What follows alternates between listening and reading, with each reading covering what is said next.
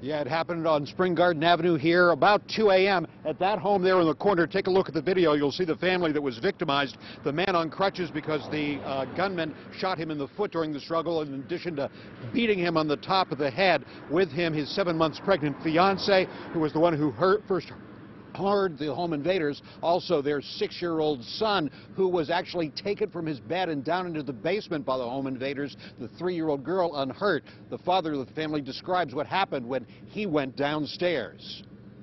And I seen somebody at the bottom steps with a gun pointing up at me, so I backed up. Next thing I know is the door gets kicked open, this door right here.